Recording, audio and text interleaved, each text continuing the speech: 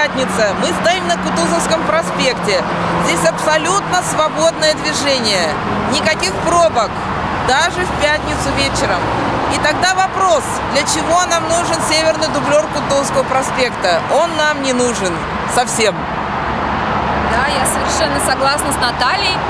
Мы ехали по Кутузовскому проспекту э, с южной части Москвы, не встретили никаких совершенно затруднений, доехали отлично. Тоже считаю, что этот дублер вообще не нужен. Совершенно.